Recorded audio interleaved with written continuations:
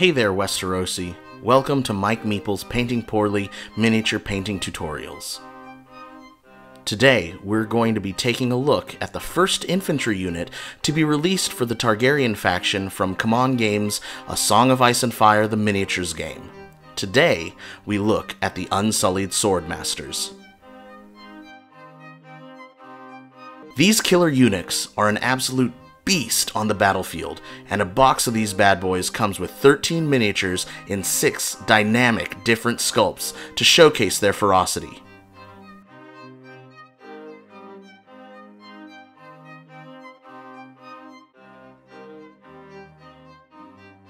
While I'm going to be drawing most of my inspiration from the amazing in-game art, I'll also be integrating some elements from their look on the HBO series, making sure to pay extra attention to the skin and incorporating some color into their clothing to really make them pop on the battlefield. As a reminder, I focus on easy techniques for beginners, so if you've never picked up a brush, you can follow along with me and learn. I'll be priming my figures with some Stynylrez black primer and my airbrush. You can use any black Rattlecan primer if you like, but I like the Stynylrez primer because it goes on really well, and if you miss a spot you can always do a brush-on application later.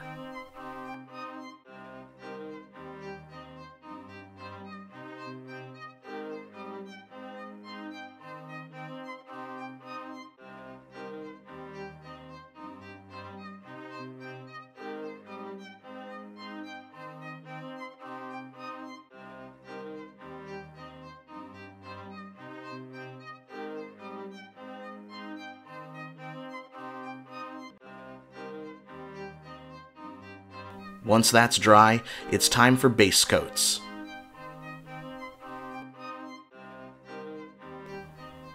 With our models primed black, we're going to start off with a dry brush of Necron Compound by Citadel.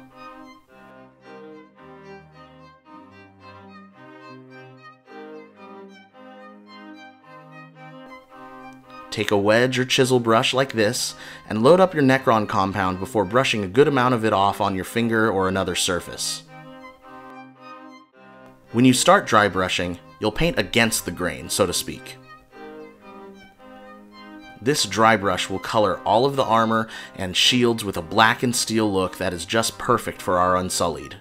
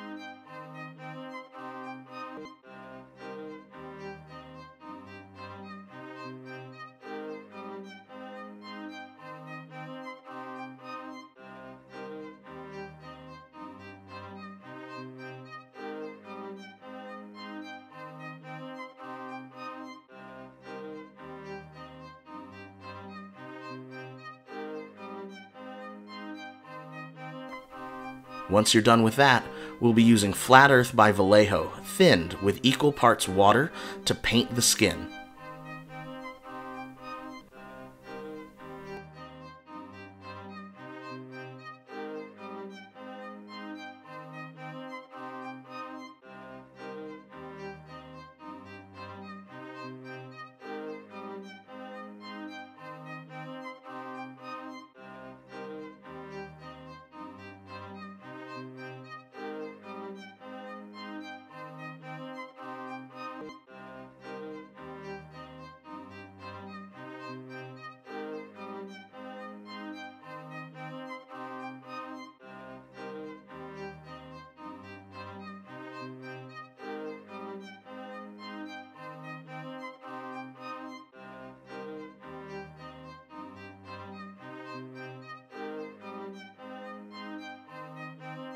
You may want to apply two coats with this color to get even coverage. Just be sure that the first coat is completely dry before you apply a second.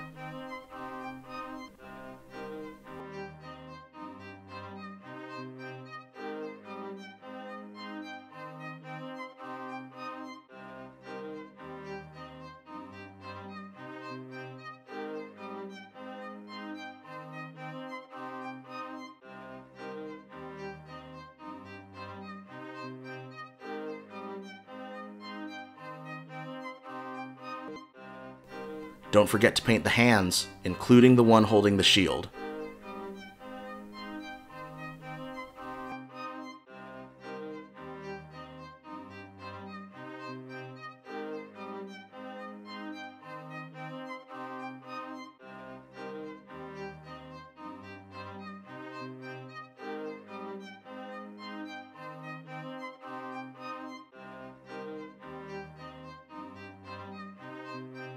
You can also paint the flagpole of the standard bearer this color as well.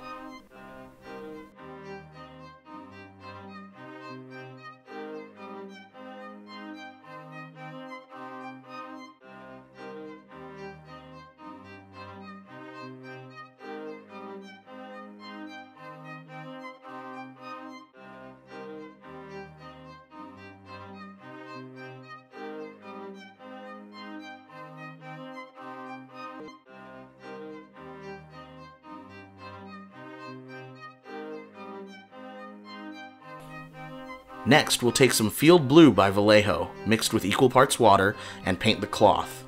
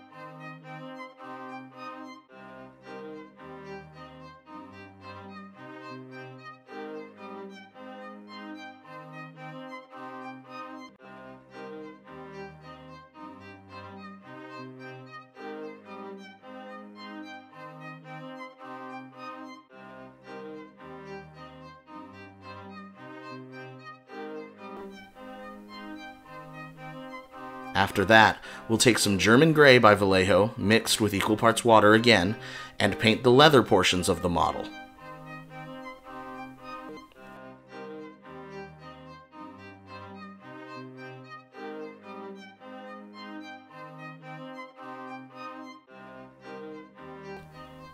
This includes the belts, sandals, scabbard, sword handles, wrist straps, and you can also use this to touch up the back of the shield if there's any stray color on them from painting the skin.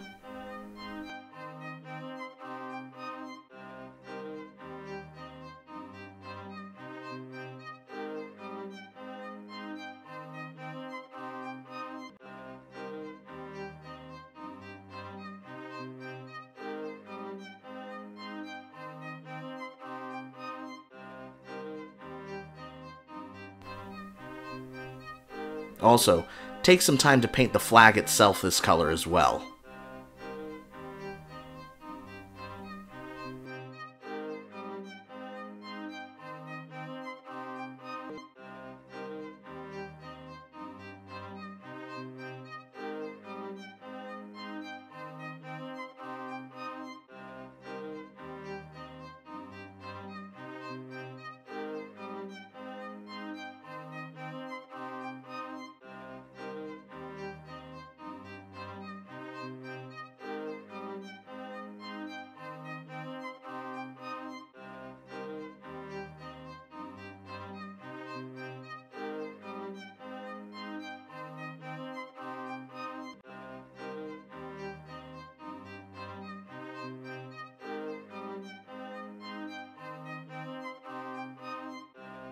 The final color we'll need for base coats will be Plate Mail Metal by the Army Painter.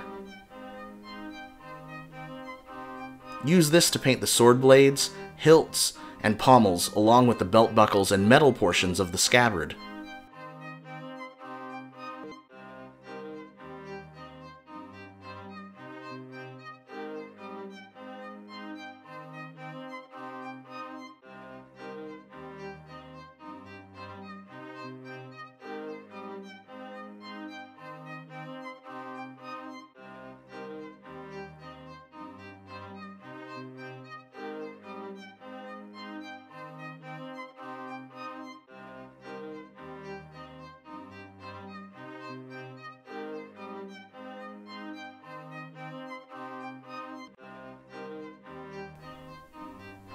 You can also use this to touch up any portions of the armor that have any spots of stray paint on them.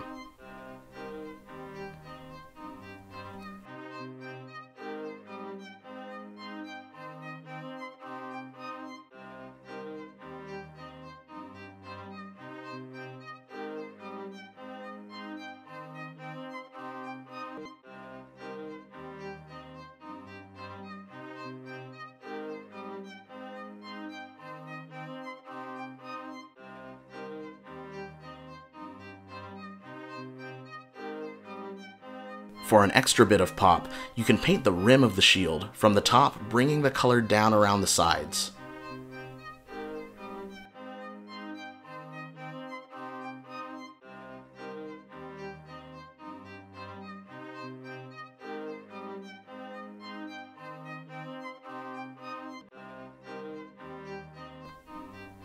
Once that's all dry, it's time for shades.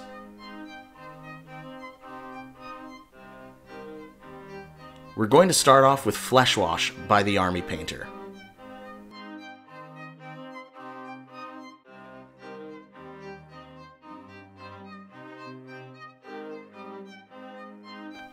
Just apply a small amount of flesh wash to all the parts of the skin, trying your best not to get any on the armor.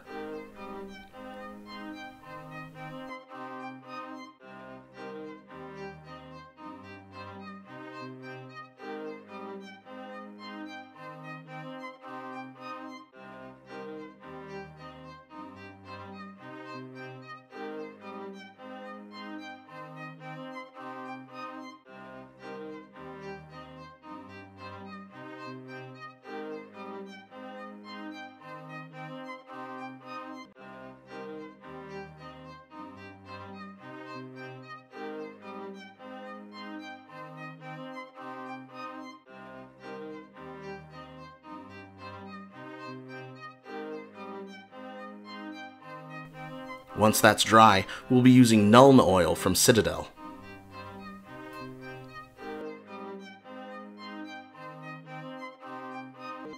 This will go on all other portions of the model, the armor, sword, shields, clothing, flag, everything.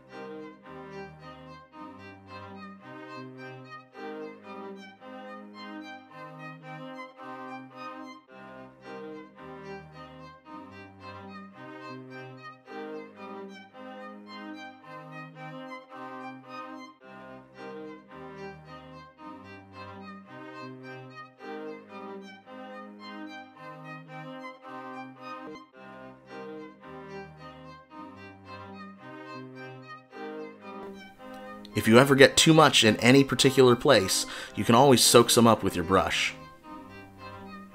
When the models are completely dry, it's time for highlights and finishing touches.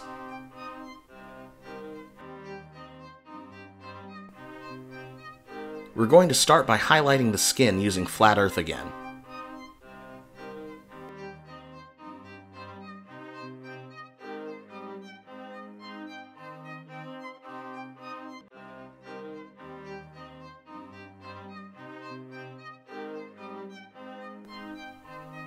Focus on painting each muscle and avoiding the recesses that are darkest from the shade.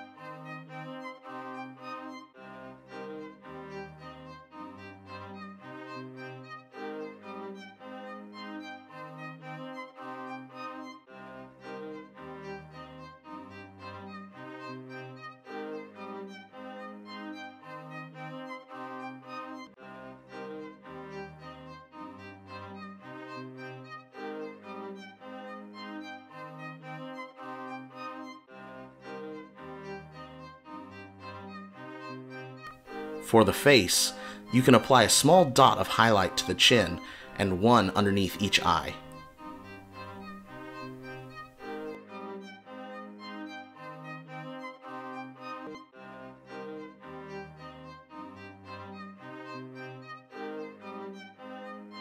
You can also highlight the flagpole with this color by painting a line right up the front of it.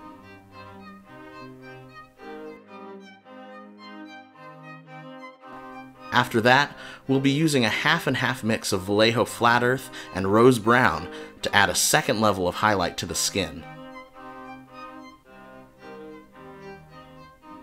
Try to paint the center portion of each area that you already highlighted, leaving a little of the previous color showing all around it.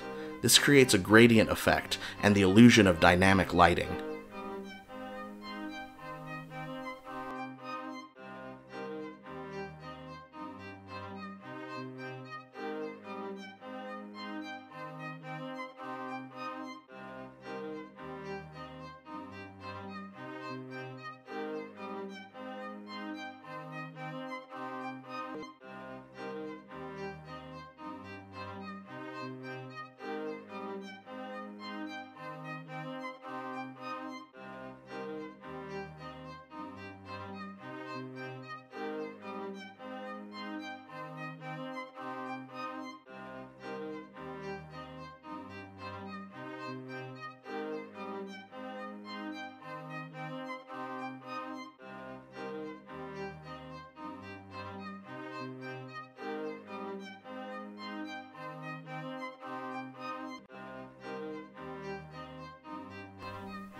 After that, we're going to take our field blue again and highlight the cloth.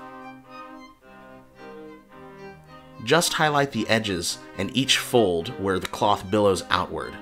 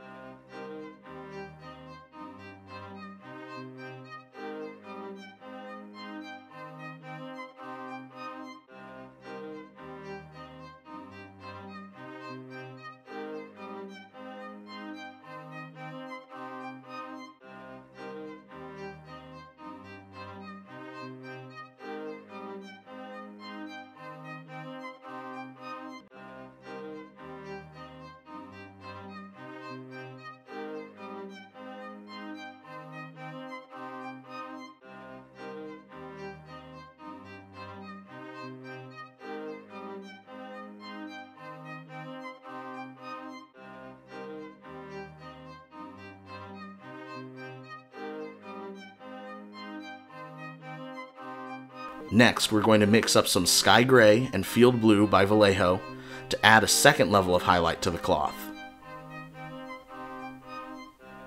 Use this color sparingly and only on the outwardmost portions of the previously highlighted cloth, as too much can be jarring.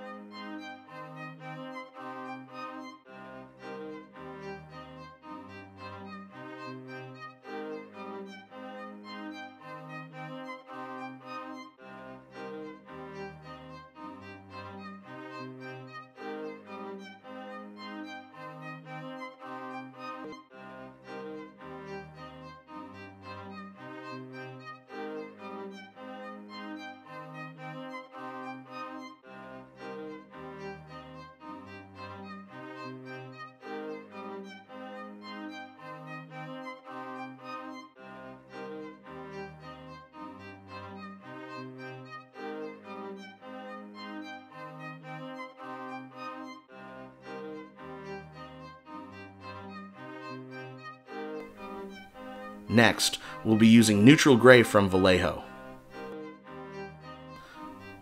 We'll start off by painting an edge highlight on the flag. Just follow all the edges of the flag with a thin line of the neutral gray.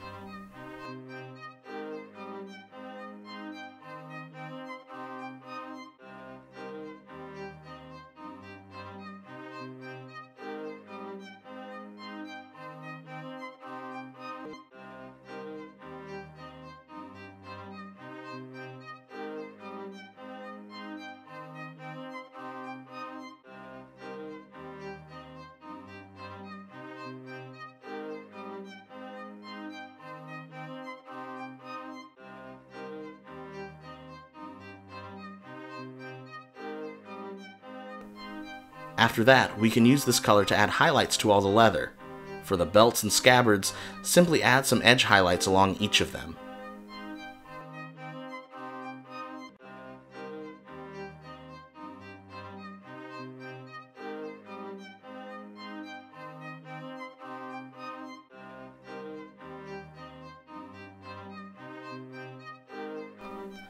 For the sandals, notice how I'm not sticking strictly to where the straps are sculpted.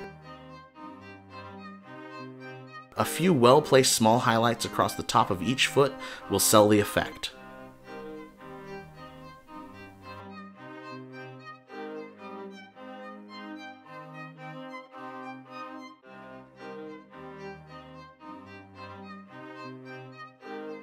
Next, we'll be adding a little bit of highlight to all the helmets using our plate mail metal.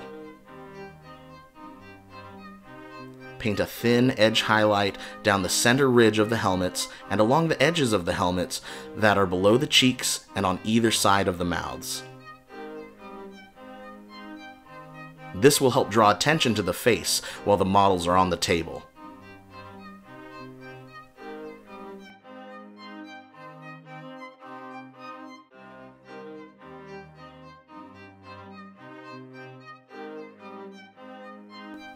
Now that we're done highlighting, we'll be adding a little terrain effect using Vallejo's brown earth paste. I use an old brush and just dab it around in a relatively random manner, which helps make a good uneven, natural looking terrain once it dries.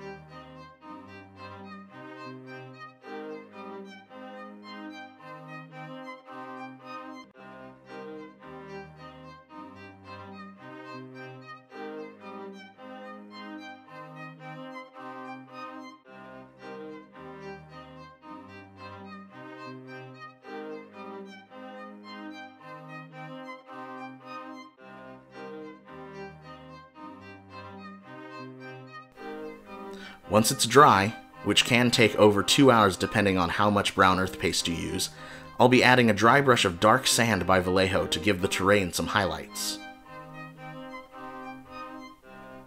Try to use an older brush for this, as dry brushing terrain can really mess up a brush.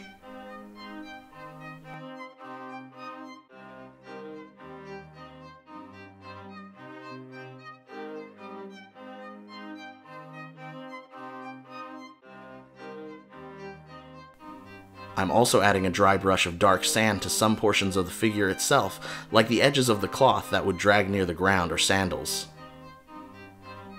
This helps sell the effect of the sandy desert terrain.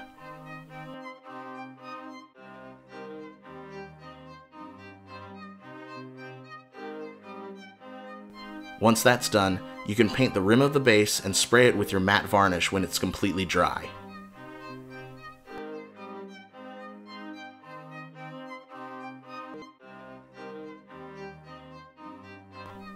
To complete the desert look, use some super glue and glue on some small rocks.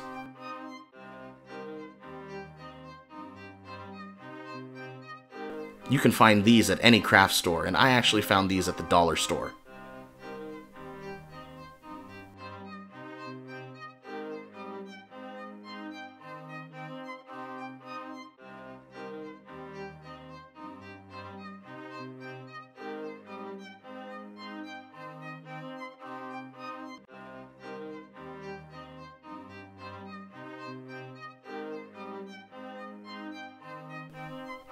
Well, that's it. Hopefully you found this tutorial helpful. I want to give a big thank you to all my patrons whose generous support helped me make quality content like this. If you're interested in becoming a patron yourself, information on how to do so can be found in the description for this video, along with links to all the supplies I used today, and a link to my blog, where you'll find more tutorials for games like A Song of Ice and Fire the Miniatures game. And if you enjoyed this video and would like to see more, remember to like, comment, and subscribe. Until next time, Westerosi,